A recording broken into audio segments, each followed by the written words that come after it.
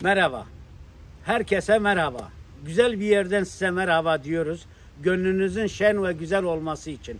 Ancak Meksika'dan aldığımız duyumlar pek de iç açıcı değil. Son dönemde aldığımız duyumlara göre Türkiye'den ve diğer ülkelerden Meksika'ya gidenlere özellikle Jaores'te yani e, Jaores'e gidip sınırdan geçmek isteyenler hava alanında denetimler başlamış.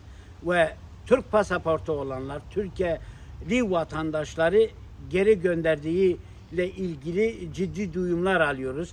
Ve bu konuda e, üç gündür e, kendi ailesinden haber almayan bir takım mesajlar da aldık. Onun üstünde duyuyoruz. Ama en kısa sürede size daha geniş bilgi vereceğiz bu konuda.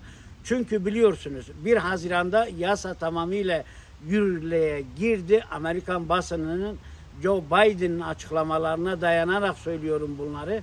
Ama ne kadar işleniyor, ne kadar e, henüz e, yürürlüğe girmedi tam bilemiyoruz.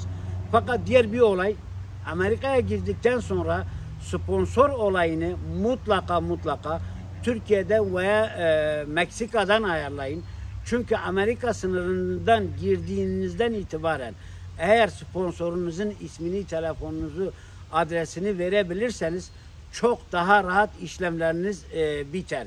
Yoksa mahkeme süreci, kam süreci uzar ve bu size daha fazla, daha kefaletli bir e, kefalet ödemenize neden olur. Avukat parası ödemenize neden olur ve bir sürü psikolojik sıkıntı da yaşarsınız. Evet arkadaşlar bizi takip edin. En kısa sürede size çok daha geniş bilgiler vereceğiz. Yani belki bir iki gün içinde likelamayı unutmayın. Bizimle birlikte olun, abone olun. Hoşça kalın, dostça kalın.